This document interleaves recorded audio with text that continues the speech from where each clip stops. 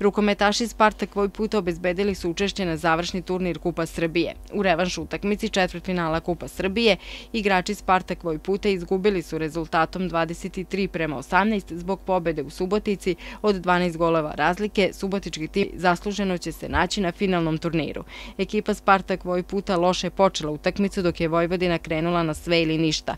Posle 10 minuta igre domaći tim imao je prednost od 4-0 da bi Bojan Županjec u 12. minutu postigao prvi gol za Spartak Vojput. Do kraja prvog poluvremena igrači Slaviše Lakovića uspevali su koliko toliko da smanje prednost ekipe Vojvodine. Početak drugog poluvremena bio je u znaku ekipe Spartak Vojputa koja je serijom od 4-0 došla do izjednačenja 10-10 u 37. minutu utakmice.